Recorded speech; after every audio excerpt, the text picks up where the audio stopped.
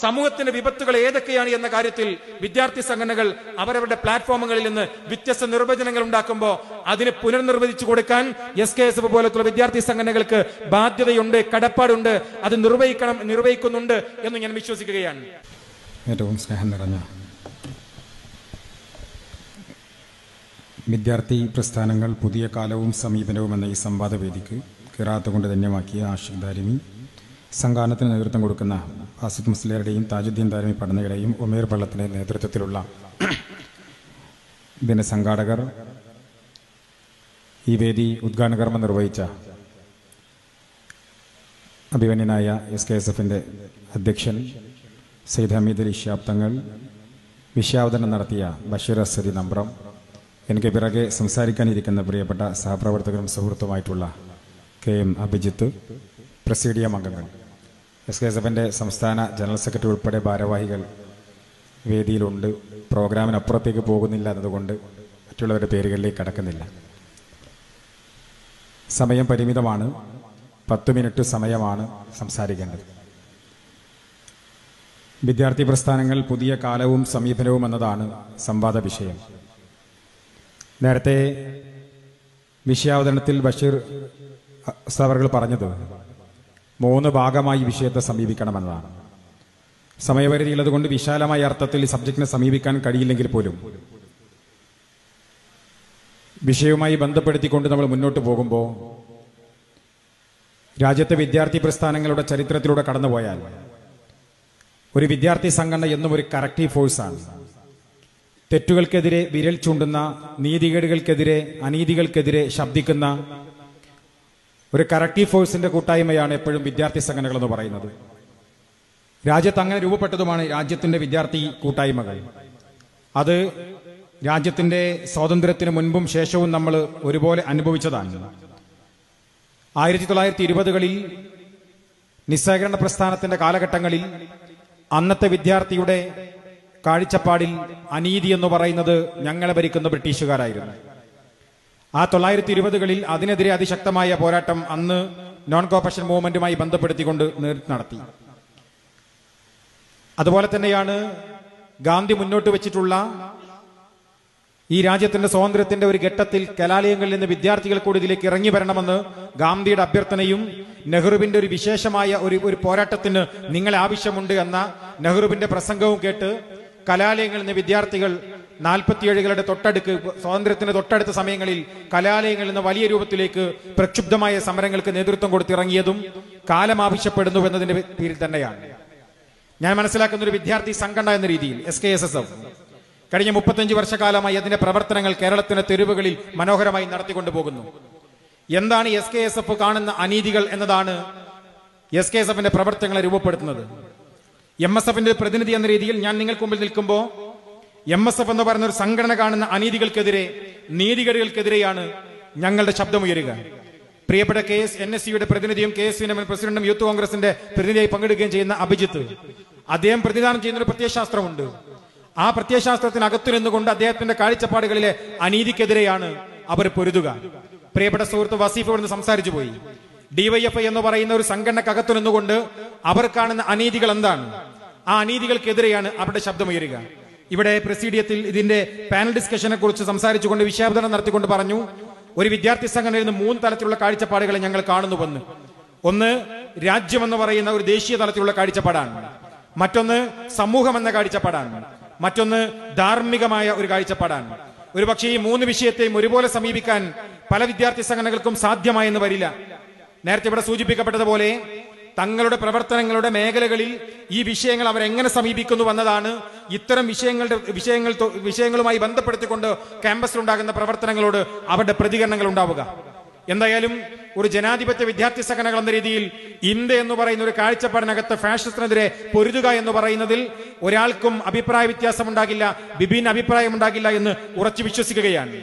ഒരു ജനാധിപത്യ രാജ്യത്തെ വിദ്യാർത്ഥി പ്രതിനിധികളുടെ പ്രതിനിധികൾ എന്ന രീതിയിൽ എന്റെ അഭിപ്രായത്തിൽ ഇന്നത്തെ ക്യാമ്പസിനകത്ത് ഇന്ത്യ എന്ന് പറയുന്ന ഒരു പരിച്ഛേദനകത്ത് നിന്നുകൊണ്ട് ഇന്നത്തെ ക്യാമ്പസുകളിൽ നമ്മൾ എന്തു പറയണമെന്നതാണ് പുതിയ കാലത്ത് എന്തു സമീപനമാണ് വിദ്യാർത്ഥി സംഘങ്ങൾ സ്വീകരിക്കേണ്ടത് എന്ന സംവാദമാണ് ഇവിടെ ഉയരുന്നതെങ്കിൽ ഞാൻ പറയുന്നത് ഇത് ഇന്ത്യയാണ് എന്ന് ഉറക്കെ പറയുക എന്നത് തന്നെയാണ് ആദ്യത്തെ ദൗത്യം എന്ന് ഞാൻ വിശ്വസിക്കുകയാണ്.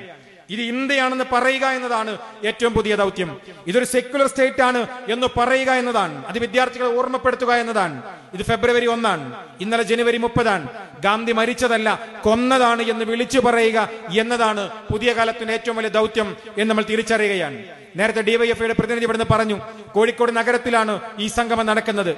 കിലോമീറ്ററുകൾക്കപ്പുറത്ത് രണ്ടോ മൂന്നോ കിലോമീറ്ററുകൾക്കപ്പുറത്ത് എൻ ഐ ടി ഉണ്ട്. കേരളത്തിലാണ് എൻ ഐ ടി ഉള്ളത്. ആ എൻ ഐ ടിക്കകത്ത് ഒരു വിദ്യാർത്ഥി ഒരു വർഷത്തേക്ക് ഇന്ന് പുറത്താക്കിയിരിക്കുന്നു. എന്താ കാരണം? കഴിഞ്ഞ ഇരുപത്തിരണ്ടാം തീയതി നേരത്തെ സൂചിപ്പിച്ചതുപോലെ രാമക്ഷേത്രത്തിന്റെ ശിലന്യായവുമായി ബന്ധപ്പെട്ട പ്രവർത്തനങ്ങൾ നടക്കുമ്പോൾ അതിന്റെ ആഘോഷങ്ങൾക്ക് വേണ്ടി ചില കുട്ടികൾ അവിടെ ചില പ്രവർത്തനങ്ങൾ നടത്തി. അവർ പറഞ്ഞു ഇന്ത്യ ഒരു രാമരാജ്യമായിരിക്കുന്നു. ഒരു ഇന്ത്യയുടെ ഭൂപടം ഭരിച്ച് കാവി നിറത്തിൽ പെയിന്റ് അടിച്ചു. അതിൽ അശോക ചക്രത്തെ എടുത്തൊഴിവാക്കിയിട്ട് അവിടെ അമ്പും വില്ലും കൊണ്ടുവച്ചു.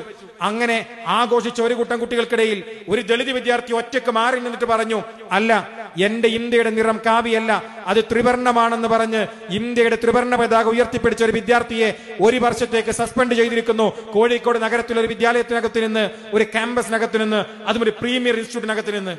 ഈ കാലത്ത് നമ്മൾ പറയുന്നു ഇന്ത്യ എന്ന് ഈ രാജ്യം എന്ന് പറയുന്നത് ഒരു ഇന്ത്യയാണ് ഒരു ജനാധിപത്യ രാജ്യമാണ് ഒരു ജനാധിപത്യ റിപ്പബ്ലിക്കാണ് എന്ന് ഓർമ്മപ്പെടുത്തുക എന്നത് ഏറ്റവും വലിയ ദൗത്യമാണെന്ന് ഞാൻ വിശ്വസിക്കുന്നു.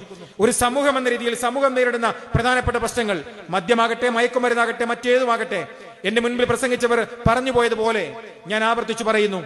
ഒരു സമൂഹത്തിന്റെ പൊതുവിപത്താണ്. അതിനെ സമൂഹത്തിൽ ജീവിക്കുന്ന സാമൂഹിക ജീവികൾ എന്ന രീതിയിൽ വിദ്യാർത്ഥി സംഘടന പ്രവർത്തകരും വിദ്യാർത്ഥി സംഘടനകളും അതിനെ ഒരുമിച്ച് നേരിടേണ്ടതാണ്. പക്ഷേ ആരെത്രയെല്ലാം അതിനെ സാമൂഹിക വിപത്തായി കാണുന്നുവെന്നതിന്റെ ഒരു പാരാമീറ്റർ സ്കെയിലിലെ നമ്പറുകൾ നോക്കിയിട്ടാണ് നമ്മൾ അതിനെ വിലയിരുത്തുന്നത്. ഇന്ന് മദ്യം സമൂഹത്തിന് വിപത്തായി കാണുന്നില്ല ഈ ഭരിക്കുന്ന ഭരണകൂടങ്ങൾ ഉൾപ്പെടെ എന്നതൊരു യാഥാർത്ഥ്യമാണ്. ഞാനൊരു വിമർശനം ഈ സദസ്സിൽ ഉന്നയിക്കുന്നു. എന്റെ സഹപ്രവർത്തകരില്ലാത്തത് കൊണ്ട് ആ വിഷയത്തിലേക്ക് കൂടുതലായി ഞാൻ പോകുന്നില്ല. ഞാൻ പറയുന്നത് ഇവിടെ ഈ പറയുന്ന മയക്കുമരുന്നുകൾ കലാലയങ്ങളിലെ അന്തരീക്ഷങ്ങളെ തകർത്തു കളയുന്നു എന്നും അത് മതകലാലയങ്ങളെന്നോ മറ്റു കലാലയങ്ങളെന്നോ ആ വ്യത്യാസമില്ലെന്നും അതല്ലെങ്കിൽ മറ്റേതെങ്കിലും തരത്തിലുള്ള സംഘടനകളെന്നോ വ്യത്യാസമില്ലെന്നും നമ്മൾ പറയുമ്പോൾ തന്നെ നമ്മൾ ചോദിക്കുന്നത് ഒരു സംഘടന എന്ന രീതിയിൽ ഇവിടെ പറയുന്ന ഈ മയക്കുമരുന്നുകളെന്നോ അല്ലെങ്കിൽ ഇത്തരത്തിൽ ബുദ്ധികളെ ബുദ്ധി മനുഷ്യബുദ്ധികളെ മറ്റു തരത്തിലേക്ക് കൊണ്ടുപോകുന്ന വസ്തുക്കൾ ഏതൊക്കെയാണോ അതിനെ കാറ്റഗറൈസ് ചെയ്യപ്പെടുന്ന ഒരു കാലത്ത് മദ്യം അതിൽ പെടുന്നില്ല എന്ന് ഭരണകൂടം പറയുന്ന ഒരു കാലത്ത് ഒരു പക്ഷെ എന്റെ വിദ്യാർത്ഥി സംഘടനയുടെ പ്ലാറ്റ്ഫോം ഇല്ലെന്ന് നമ്മൾ പറയുക മദ്യം ഉൾപ്പെടെ എല്ലാ മനുഷ്യനെ തകർത്തു കളയുന്ന മയക്കുമരുന്നുകൾ ഉൾപ്പെടെ എല്ലാത്തിന്റെയും കാറ്റഗറിയിൽ പെടേണ്ടതുണ്ട് എന്ന് പറയേണ്ട ഒരു കാലത്താണ് നമ്മളുള്ളത്. അപ്പോ സമൂഹത്തിന്റെ വിപത്തുകൾ ഏതൊക്കെയാണ് എന്ന കാര്യത്തിൽ വിദ്യാർത്ഥി സംഘടനകൾ അവരവരുടെ പ്ലാറ്റ്ഫോമുകളിൽ നിന്ന് വ്യത്യസ്ത നിർവചനങ്ങൾ ഉണ്ടാക്കുമ്പോൾ അതിന് പുനർനിർവചിച്ചു കൊടുക്കാൻ എസ് കെ എസ് എഫ് പോലത്തുള്ള വിദ്യാർത്ഥി സംഘടനകൾക്ക് ബാധ്യതയുണ്ട് കടപ്പാടുണ്ട് അത് നിർവഹിക്കണം നിർവഹിക്കുന്നുണ്ട് എന്ന് ഞാൻ വിശ്വസിക്കുകയാണ്. മൂന്നാമതായി ഇവിടെ പറഞ്ഞത് ധാർമ്മികമായ പ്രവർത്തനങ്ങളെ കുറിച്ചാണ്. ക്യാമ്പസുകൾ നമ്മൾ കാണുന്ന ഈ പറയുന്ന സദാചാര മൂല്യങ്ങളെ തകർത്തു കളയുന്നതിനെ കുറിച്ചാണ്. ഞാൻ ഉറപ്പിച്ചു പറയട്ടെ വ്യത്യസ്ത അഭിപ്രായങ്ങൾ വ്യത്യസ്ത വിദ്യാർത്ഥി സംഘടനകൾ ഉണ്ടായേക്കാം. പക്ഷെ ഞങ്ങൾ ഉറപ്പിച്ചു പറയുന്നു കേരളത്തിന്റെ കലാലയങ്ങൾ ഇന്ന് കാണുന്ന അധാർമിക പ്രവർത്തനങ്ങൾ ചുവർ ചിത്രങ്ങളായി വന്നാലും മൈ ബോഡി മൈ ചോയ്സ് എന്ന് പറയുന്ന മുദ്രാവാക്യങ്ങളായി വന്നാലും വരച്ചു വെക്കുന്ന ചിത്രങ്ങളും എഴുതി വെക്കുന്ന മുദ്രാവാക്യങ്ങളും വിളിച്ചു കൊടുക്കുന്ന മുദ്രാവാക്യങ്ങളും എല്ലാം എവിടുന്ന് വന്നുവെന്ന പരിശോധന നടത്തിയാൽ അർത്ഥശങ്ങൾക്കിടയില്ലാത്ത വിധം നമ്മൾ പറയുന്നു അതൊരു യൂറോപ്യൻ സംസ്കാരത്തിന്റെ ഉൽപ്പന്നമാണ്. യൂറോപ്പ് പോലും അതിനെ ഉപേക്ഷിച്ചു കളയുന്ന കാലത്ത് ആരൊക്കെയോ കേരളത്തിന്റെയും ഇന്ത്യയുടെയും പശ്ചാത്തലത്തിലേക്ക് അത് കൊണ്ടുവരുമ്പോ അതിനോട് നോ പറയാൻ വിയോജിക്കാൻ അതൊരു ധാർമ്മികമായ ഒരു സമൂഹത്തെ തകർത്തു കളയുന്നുണ്ട് എന്ന് പറയാൻ തകർത്തു കളഞ്ഞതിന്റെ ഉദാഹരണം ലോകത്തെ ചൂണ്ടിക്കാണിക്കാനുണ്ട് എന്ന് പറയാൻ ഞാൻ ഉൾപ്പെടെയുള്ള വിദ്യാർത്ഥി രാഷ്ട്രീയ സംഘടനാ പ്രവർത്തകർ കലാലയങ്ങളിലേക്ക് പോകുമ്പോൾ ഞങ്ങൾക്ക് നേരെ ഡിഫൻസ് ഉപയോഗിക്കുന്നവർക്ക് മുമ്പിൽ അതിനെക്കുറിച്ച് വളരെ കൃത്യമായി പറഞ്ഞു കൊടുക്കാനുള്ള എഴുത്തുകളും പറച്ചിലുകളുമായി ഇത്തരം വേദികളിൽ പുതിയ സംവാദങ്ങൾ രൂപപ്പെട്ടു വരട്ടെ. ആ സംവാദങ്ങളിൽ നിന്ന് പുതിയ സമൂഹങ്ങൾ രൂപപ്പെട്ടു വരട്ടെ. അവിടെ ഒരുപക്ഷെ രാഷ്ട്രീയത്തിന്റെ അതിർവരമ്പുകൾക്കപ്പുറത്തേക്ക് മതത്തിന്റെ അതിർവരമ്പുകൾക്കപ്പുറത്തേക്ക് ചിന്തകളുടെ അതിർവരമ്പുകൾക്കപ്പുറത്തേക്ക് കൺസ്ട്രക്റ്റീവായ ഒരു പൊളിറ്റിക്സിന്റെ സമൂഹത്തിനും സമൂഹത്തിനും രാജ്യത്തിനും ഉപകാരപ്പെടുന്ന ഒരു ചെറുപ്പക്കാരന്റെ രൂപീകരണത്തിന് അത് കാരണമാകട്ടെ എന്ന് മാത്രം പറഞ്ഞുകൊണ്ട് സമയപരിമിതിയിൽ അവസാനിപ്പിക്കുന്നു. ജയിൻ ശ്രമം